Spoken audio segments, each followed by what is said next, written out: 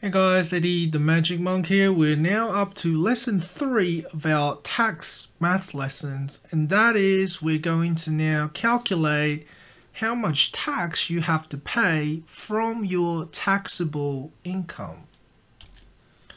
So if you do a Google search on income tax rates ATO, which is the Australian Tax Office, you will see that the taxable income, uh, sorry, the tax that you have to pay depends on your taxable income.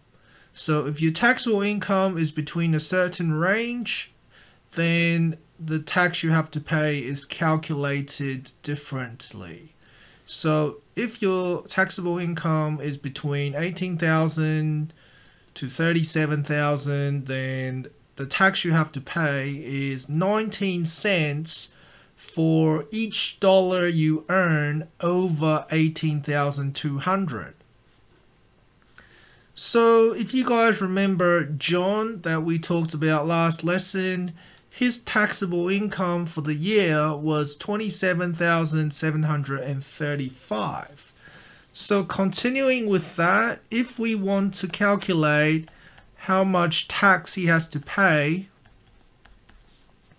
okay, the income tax is therefore equal to now it says 19 cents for each dollar over 18,200.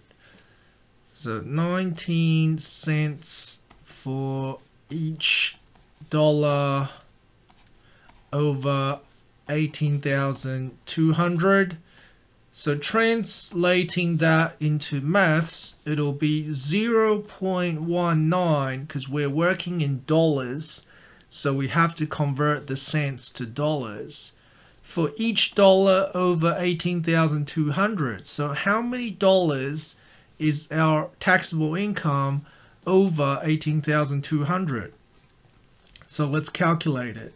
27,735.2 minus 18,200. That tells us how many dollars we have over 18,200 and then we got to multiply by 0.19 to find out um, how many uh, dollars we have to pay for the income tax. So then let's put all that in the calculator. 0.19 times bracket 27735.2 minus 18200 bracket and the answer is $1,811 point 69 cents rounded to two decimal places. So that is how much income tax John has to pay. Uh, let's do a different example. Let's say a, a different person, okay, because we want to now trial a different tax bracket. So Emma has a taxable income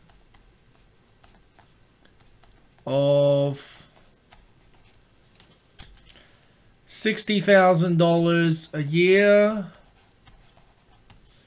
calculates her income tax.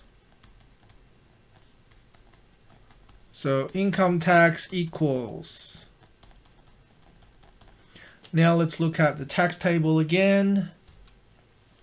And we can see that if you earn 60,000, you're in the next tax bracket.